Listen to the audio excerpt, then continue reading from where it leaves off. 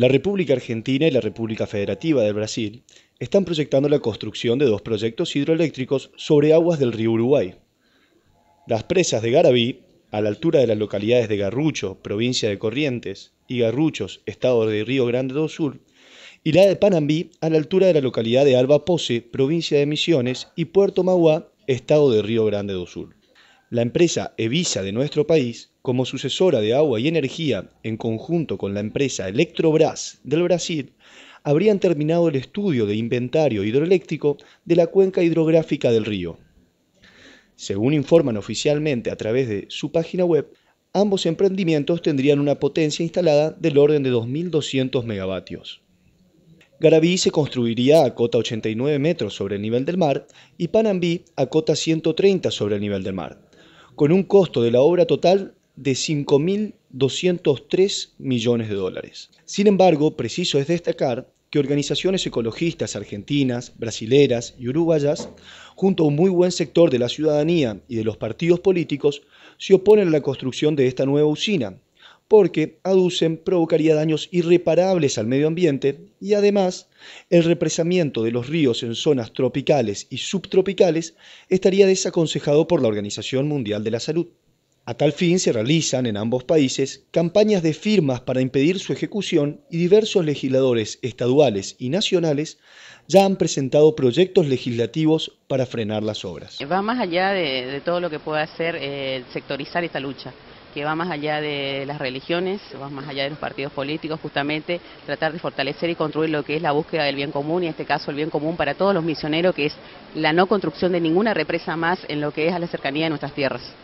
Y habiendo tanta hambre en el mundo, estamos tratando de inundar una tierra que muchos de nuestros antepasados la defendieron con su vida, como Andresito, y nosotros no podemos permitir de que el gobierno por una decisión de ellos y por beneficio para, algunos pocos nos quiten nuestro derecho que es vivir donde queremos como misioneros y disfrutar de nuestra tierra.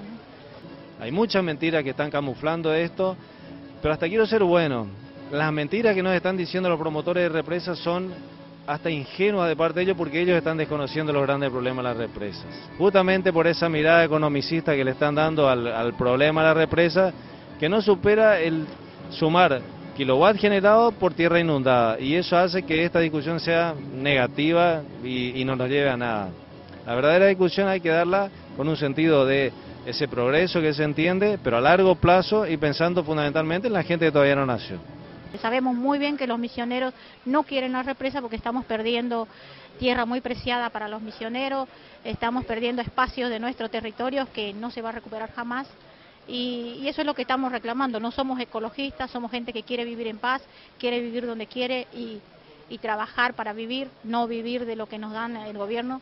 No queremos ser mendigos, queremos vivir como somos. Somos pobres, pero somos personas que vivimos de lo que tenemos, comemos de lo que la tierra nos regala todos los días y eso es lo que tratamos de concientizar a la gente de que podemos reclamar y que se puede decir no y que tenemos todavía las de ganar en ese sentido. ¿no? Esa es nuestra esperanza. Nosotros tenemos una clara postura ya en contra de las represas, particularmente contra Garaví. Ya en el año 2010, eh, nuestros diputados, encabezados por el diputado Ifram y el diputado Shir, han presentado un pedido para que se hiciera un plebiscito, para que se consulte a la, ciudadanía misionera sobre esta represa. Obviamente la renovación eh, ha cajoneado este expediente. No hace falta más energía. Lo que hace falta es que esa energía que hoy está instalada en San Isidro, acá en Posadas, se invierta en redes de transmisión hacia el interior. lo que no ha hecho el gobierno en todos estos últimos años es invertir en transmisión de la energía. Esto es lo que necesita y no más energía.